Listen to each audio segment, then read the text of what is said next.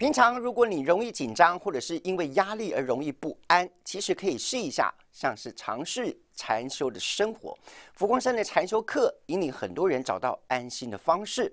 来看日前禅期课程的学员，就在规律的生活当中找到了一份清静。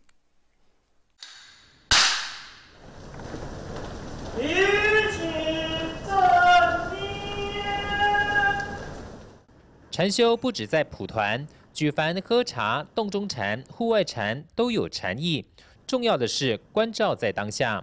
佛光山七日禅就是完整体验僧团生活的禅学课程。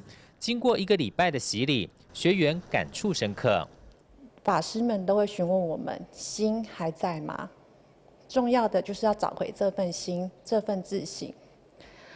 最重要的就是要让我们走下蒲团，走入人群，进入道场。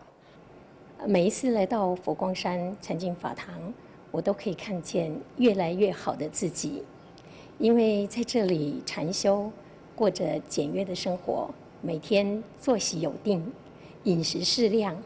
所以，我们的色受想行识，